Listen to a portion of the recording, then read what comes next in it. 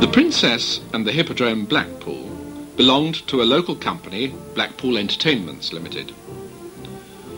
The Princess was on the seafront and had opened in 1920.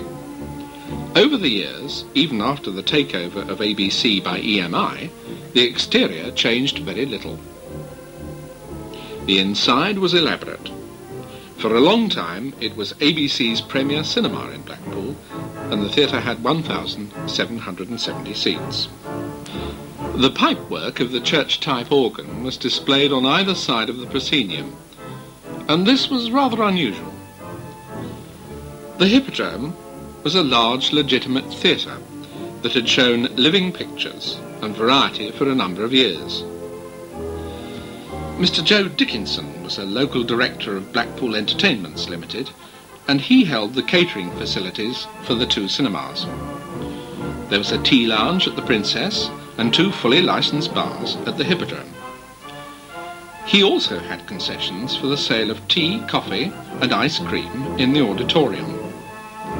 Associated British Cinemas managed and operated both theatres.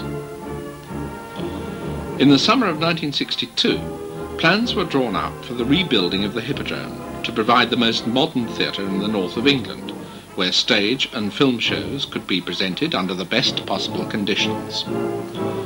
The rebuilt theatre opened in May 1963.